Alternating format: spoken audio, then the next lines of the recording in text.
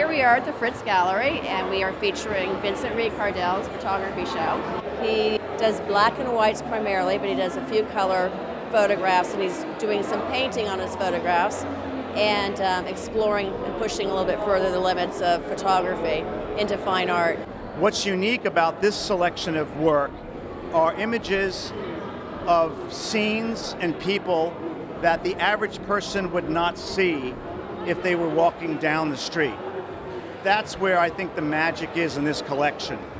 The Ricardel exhibition that we have here tonight is one of the finest I've ever seen. You see things that really transcend time and places, and you're moved by what the pictures are. And you might not know, but Vincent is originally a Palm Beacher, so it's really special for us to be featuring Vincent in the Fritz Gallery. Very happy to be home.